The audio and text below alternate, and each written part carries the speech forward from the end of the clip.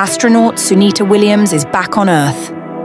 After a staggering nine month mission on the International Space Station, she finally returned, despite delays caused by technical issues with Boeing's Starliner spacecraft.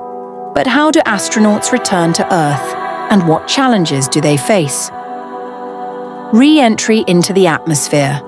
The spacecraft hurtles toward Earth at speeds over 17,000 miles per hour enduring temperatures of up to 3,000 degrees Fahrenheit, 1,650 degrees Celsius.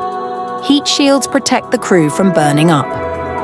Parachute deployment and landing. After slowing down, large parachutes deploy to soften the landing, often splashing down in the ocean or landing on solid ground. Gravitational stress. After months in microgravity, astronauts struggle with dizziness, muscle atrophy, and weakened bones as their bodies readjust to Earth's gravity. Rehabilitation and recovery. Once on Earth, astronauts spend weeks in physical therapy to rebuild strength and balance. Sunita's resilience proves the dedication and endurance needed for space exploration. What do you think, guys? Is space exploration worth all these challenges, or do you think the risks outweigh the rewards? Let me know your thoughts in the comments below.